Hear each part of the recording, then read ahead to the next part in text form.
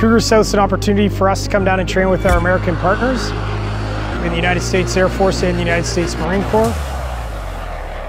It gives us the opportunity to practice our deployments, as we've seen uh, recently in Europe. It gives us that chance to get a lot of the uh, members and units from Three Wing to get on the road and see how we do that. This time of the year before we uh, come up on the July posting cycle, we're really focusing on a lot of our two ship upgrades and our four ship upgrades. And by coming down here in a deployed environment with ideally better weather than snow in Canada, we can get more lines, more flying per day. And by integrating with the units here, uh, that gives us more training opportunities to achieve those, some of the larger missions and some more complex scenarios. From the start of the deployment, we had uh, at max 12 CF-18s, approximately 200 people, primarily from Three Wing, Bagotville and Four Wing Cold Lake. As mentioned, uh, 433 as the lead squadron with 425 and uh, 409 from uh, Cold Lake. And those include technicians, pilots, public affairs officers, and everybody that we need to be here to make sure that all the effort that we put into this deployment uh, is worth it. The exercise in total is about six weeks, six flying weeks, and each day we're flying on average 10 lines a day.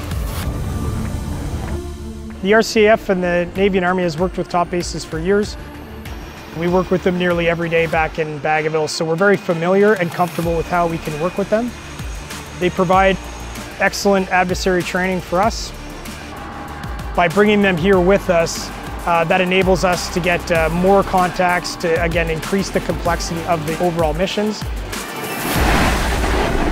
One of the reasons we come down here is that we need to exercise a deployment from concept to completion.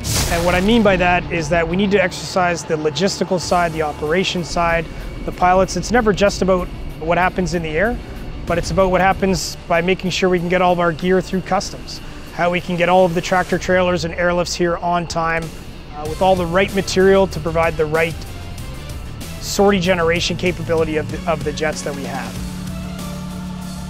Spending a few hours with uh, the United States Marine Corps, the United States Navy controllers, and the United States Air Force F-15s, it's an invaluable insight into how other people look at a same tactical problem, but from a different perspective, different experience and different background.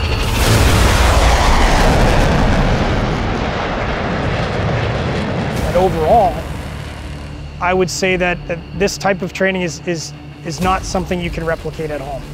It's good for the team. It's a chance for the team to get together, train together in a focused environment. Yes, we all miss our families, but by being here, there's more mission focus because we have more time to be here.